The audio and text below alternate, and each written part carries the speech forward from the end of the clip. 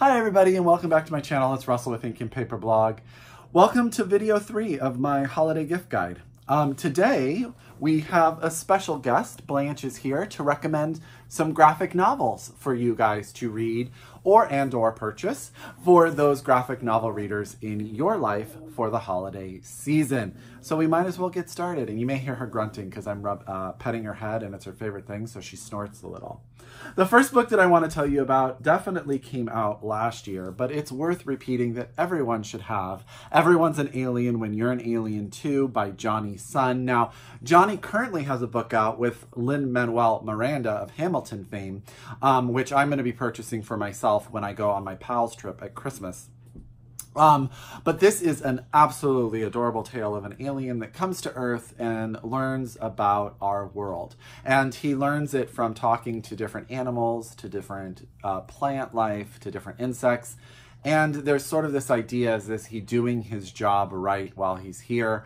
Um, and it's all about acceptance and learning from each other and taking care of one another. It is adorable, adorable. This could have gone in my um, YA middle grade section too, because it has sort of a timely tale for those young readers in our life or those people who like um, to read um, stuff like that. But I loved this book, and he's great on Twitter, and he's great. He's got great art.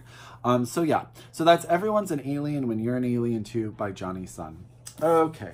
The next book is actually a series, um, book one and book two in My Brother's Husband. And this is by Gengoroh Tagame, and I know I'm saying that wrong. I'm really sorry. Um, and this is translated, hold on, translated from the Japanese by, it always takes me a minute because this is a manga and it's backwards um, for me, um, straightforward for everyone else. And it is translated from the Japanese by Anne Ishii. And this is the story of our, um, let me turn this around. Uh, this is the story of a dad and his single daughter who one day this man, Mike from Canada, comes and he was married to the father's brother in Canada, and the brother has passed away. And both of these volumes deal with um, the idea of who your family is, what you know, what you don't know, who you love. And uh, what I love about it is it really focuses on the idea that the young girl she just thinks of Mike as her uncle. And the love and appreciation that they have for one another goes beyond all bounds of social norm um, in the Japanese culture. And then it really makes the father sort of rethink what life is going to be like and how he wants to raise his daughter. Um, I adored it. I know a lot of people really adore it. And now that it's a two volume set, um, I think this is all. I think it's only the two volumes. It's beautiful. The art is beautiful. The story is beautiful. And I highly recommend it if that is up your alley. So this is My Brother's Husband by Gengoroh Tagame. And um, this is out from Pantheon. It's worth it. I promise. Okay. The next one is out by a sister team of Kit and Cat Seaton. This is Narroway. This is the first in a series. This is sort of a retelling of a um, Spanish myth. Um, at the beginning of this book, our young main character is promised sort of like her future prophecy is that she's going to marry this bull. And um, it turns out that he comes from a cursed family and she go goes on an adventure with him. And she's no nonsense. I love her independence. I love sort of how she stands up for herself, especially when the bull is a little bit um, brooding and used to getting his way. Um, she's not, she doesn't take any of that. So, and it's beautifully drawn too, and the story is really amazing. And there's a lot of stuff. I am, I want book two so bad because um, I want to know what's going to happen for them. So this is Narroway by Kit and Cat Seaton. The book one, The Black Bull of Norway series.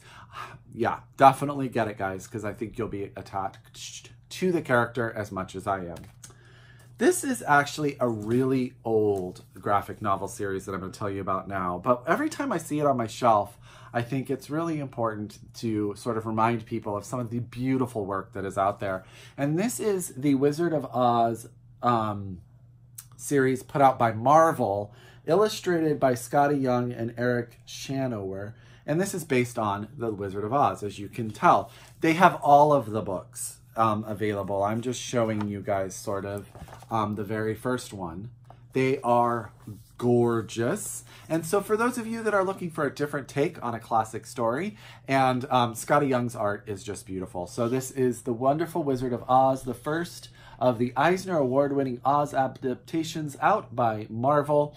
And uh, again, Eric Shanower and Skottie Young, based on The Wizard of Oz by L. Frank Baum. Um, my husband is a huge fan of Skottie Young's art, and he does a lot of comic book variant covers, and he also does a very adult series called Fairyland, which is actually very enjoyable, which you can get um, too if you like if you have people who um, like a more adult version of the fairy world. Um, highly recommend Fairyland. So again, yeah, beautiful, beautiful editions, collectors, amazing.